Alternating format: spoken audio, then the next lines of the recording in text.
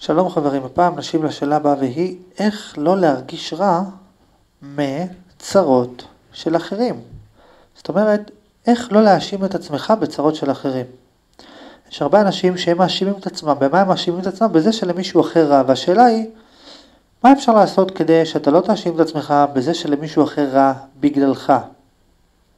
והתשובה היא כזאת, אם אתה לא רוצה להאשים את עצמך בזה שלמישהו אחר רע בגללך, אתה צריך לשאול את עצמך, מה הטוב, מה הטוב, מה הדבר הטוב שיוצא לי מכך שאני מאשים מישהו אחר בצרות שלי.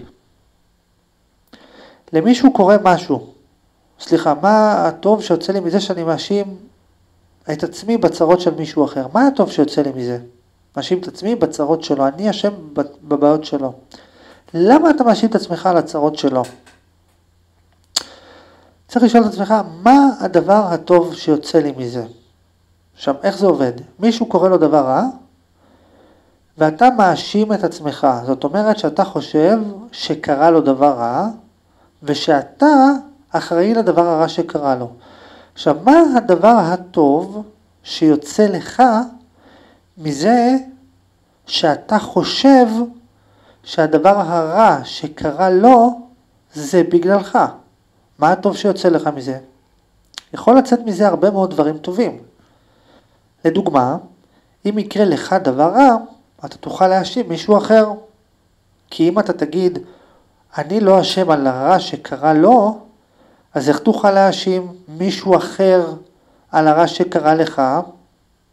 אז לדוגמה, יכול להיות שאתה תרצה להאשים את עצמך בצרות של מישהו אחר, כדי שאתה תוכל להאשים מישהו אחר בצרות שלך. כשאתה לא מספיק טוב, שאתה תוכל להאשים את אמא שלך, אבא שלך, סבתא שלך, את הבית ספר, את השכנים, את אלוהים, את הגנטיקה, את המציאות, את דאעש, את החמאס, את מי שאתה רוצה תאשים. כולם אשמים חוץ ממך, נכון? אז הסיבה שאתה מאשים את עצמך בצרות של אחרים, אחת מהסיבות יכולה להיות זה כדי שאתה תוכל להאשים אחרים בצרות שלך. סיבה נוספת שיכולה להיות, מה עוד טוב נגיד יכול לצאת מזה שאתה חושב שאתה אחראי למה שקרה לבן אדם השני. לדוגמה, אתה מאשים את עצמך בצרות של אנשים אחרים כדי שאתה תוכל לקחת קרדיט על הצלחות של אנשים אחרים. נגיד שאתה, מישהו הצליח באיזה משהו ואתה רוצה לקחת קרדיט, לחשוב שזה בזכותך הוא הצליח. אבל כדי שאתה תוכל ליהנות מהמחשבה שאומרת שבזכותך הוא הצליח, למרות שזה לא בהכרח בזכותך, המחיר שאתה משלם על זה, שכשמישהו לא מצליח או כשמישהו מרגיש רע, אתה מאשים את עצמך.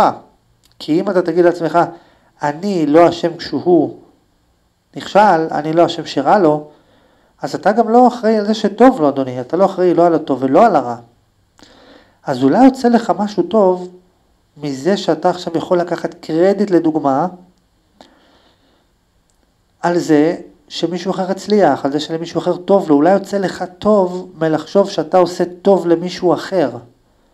יכול להיות שאתה נגיד רוצה לחשוב שאתה בן אדם טוב, ואז אתה אומר לעצמך, מה, אני, מה, מה טוב בי? כי אני עושה טוב לאחרים. מה אני עושה טוב לאחרים? הנה זה וזה וזה וזה, אני עשיתי להם טוב.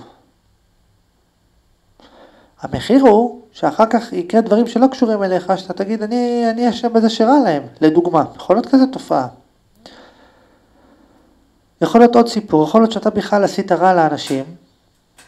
אתה נגיד לדוגמה עשית רע פעם למישהו, או שעשית איזה משהו דפוק, ואז אתה רוצה לנסות לשכנע את עצמך שאתה לא דפוק. ואתה אומר איך אני אשכנע את עצמי שאני לא דפוק? בזכות זה שאני אספר לעצמי סיפור שאני עושה מאוד מאוד טוב, ואז אתה מספר לעצמך שאתה עושה טוב לאחרים, ואז המחיר הוא שאתה חושב שאתה עושה רע לאחרים. זה גם דוגמה. ניתן עוד דוגמה. נגיד שיש לבן אדם מערכת יחסים, אוקיי? נגיד עם ההורים שלו. והוא רוצה לחשוב שההורים שלו אוהבים אותו. תתרכזו טוב, בן אדם רוצה לחשוב שההורים שלו אוהבים אותו. יש לו בעיות עם ההורים שלו. עכשיו יכול להיות שאם אתה תאשים אותם בבעיות שלהם, או תאשים אותם בבעיות שלך, יכול להיות שזה יגרום לך להבין שהם לא באמת אוהבים אותך, ואז אתה לא תוכל לחשוב שהם אוהבים אותך, ואז אתה תרגיש לבד. יכול להיות נגיד שלאמא שלך יש לה בעיות. ואז אתה מעדיף להאשים את עצמך בבעיות שלה, ולא להאשים אותה בבעיות שלה, כי אתה אומר לעצמך, אם אני אאשים אותה בבעיות שלה, אז זה אומר שהיא לא באמת אוהבת אותי, או לא באמת רוצה אותי, או לא באמת משהו, ואז אתה לא יכול ליהנות מהמחשבה שהיא אוהבת אותך. אז אתה מעדיף להאשים את עצמך בשביל לחשוב שהיא לא אשמה, כדי שתוכל לספר לעצמך את הסיפור שהיא אוהבת אותך. זאת אומרת, יכול להיות שיש לך אינטרס להאשים את עצמך, כי אתה מפחד שאם אתה תאשים אנשים אחרים, אם אתה תאשים אנשים אחרים בצרות שלהם, בצרות שלך, יקרה מזה עוד נזק. זאת אומרת, אתה יכול לשאול את עצמך, איפה המקומות בחיים שלי, שאם אני אאשים מישהו אחר בצרות שלי או בצרות שלו, יהיה לי פחות טוב. אולי יש לך אינטרס לקחת אחריות. יכול להיות כיוון אחר בכלל, שאתה אומר לעצמך, מישהו הצליח בחיים, שזה אמרתי קודם בצורה טיפה שונה, ואתה לא רוצה לחשוב שההצלחה שלו בזכותו, אתה רוצה לחשוב שההצלחה שלו בזכותך.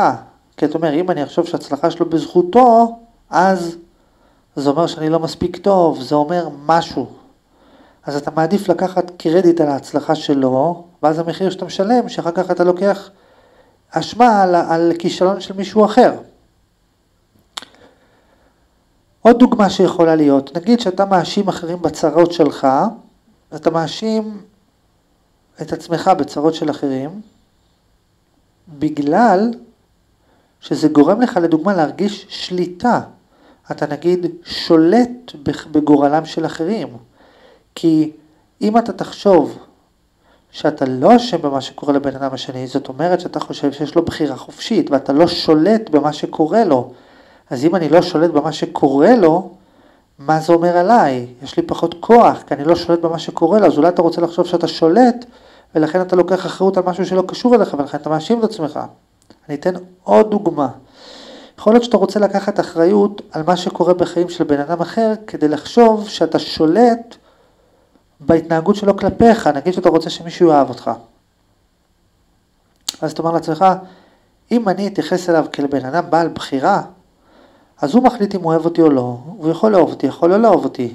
אז אני רוצה נגיד לספר לעצמי סיפור, שאני יכול לשלוט בזה שהוא יאהב אותי. אני אשלוט בזה שהוא יאהב אותי. איך אני יכול לשלוט בזה שהוא אוהב אותי? הרי הוא יכול להחליט.